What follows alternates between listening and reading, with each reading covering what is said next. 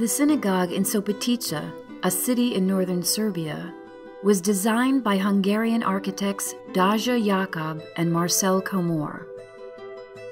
Built between 1901 and 1903, it became one of the most innovative late 19th century Jewish places of worship in the Habsburg Empire. It is the first synagogue to incorporate the new architectural language of Hungarian Art Nouveau which expressed loyalty to the Hungarian nation. At the same time, the style enabled the architects to break away from tradition and create a modern building. Subotica Synagogue is reminiscent of Byzantine style synagogues with a large central cupola. Four smaller domes crown the turrets that house the staircases leading to the women's gallery and complement the main dome.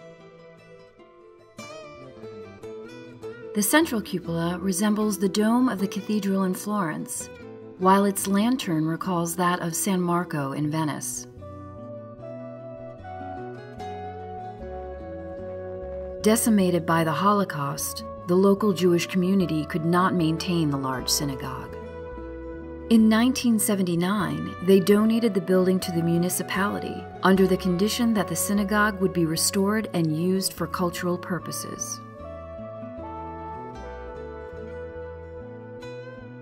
Little occurred until recent years, when a joint effort of World Monuments Fund, the city of Subotica, the Serbian state, and the European Union began restoration work.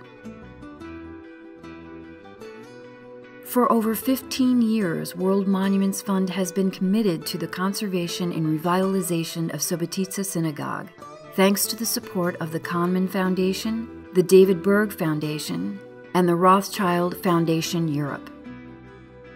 Work initially focused on the restoration and repair of the roof and drainage system, the central dome and four lower cupolas, and the restoration of the roof tiles and terracotta facade elements. In 2013 and 2014, WMF supported the work on the southwest entry facade in cooperation with the City of Subotica, the Ministry of Culture in Serbia, and the local provincial government. The restoration work on the facade was completed in late 2014. WMF's long term commitment to Subotica Synagogue's conservation and reuse has benefited the site greatly.